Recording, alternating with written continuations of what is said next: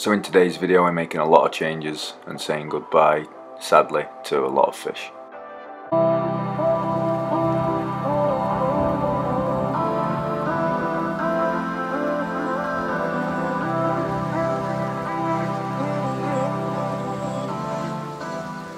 So before we get going with this video, just giving you a look at the 10 gallon planted tank. The BBA seems to be on the decline and the plants have actually been growing really, really nicely recently. Quick question. What stock could I add in this tank? Some more black neons, a German blue female for the male. All thoughts I've had, so let me know in the comments. So anyway, enough of that, let's get this video going.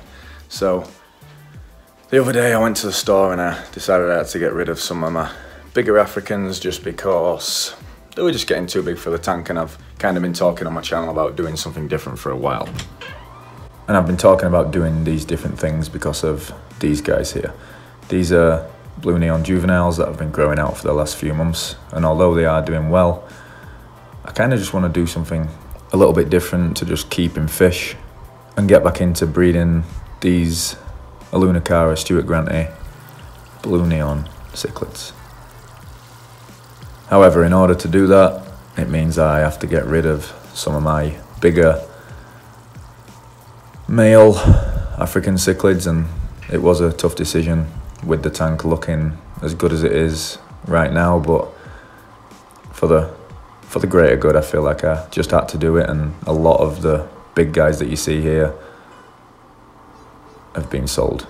The ones I am keeping however is this little star sapphire the smaller blue neons that are already in there. That albino, who's been looking really, really awesome recently. And I'm also keeping the wife's blood parrot, just because it's the wife's blood parrot. And then this little ruby crystal peacock. So this is the last time you'll see this 55 gallon African cichlid tank looking like this. And we took them to the fish store to be sold. So while we were there, we happened to see something that we weren't really expecting. That's obviously Wet Pets and Friends that we've talked about before, and that's where I sell the majority of the blue neon fry when I've got some to sell. But we came back from the fish store with a bag after. One of the employees told me that while he was looking at a tank the other day, he noticed that there was one that had been brought in, which was a blue neon. There's no blue neons in the area, and he specifically remembers this guy that brought the blue neon in buying six of them at the time. He said he were putting it in a 220 and for some odd reason he brought it back. So in the 55 gallon tank now, I happen to have one of my blue neons that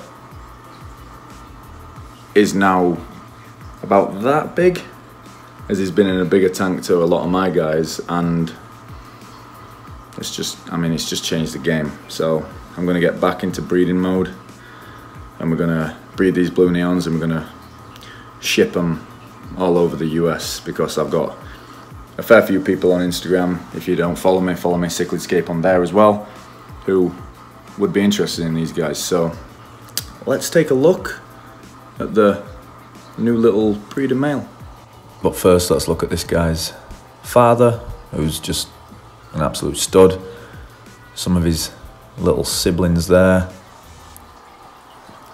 as well as in here in this little 55. And then, oh, for his size, his coloration is really, really nice. And currently, there's still a few bigger fish in the tank that I need to sell, and he's he's doing pretty good.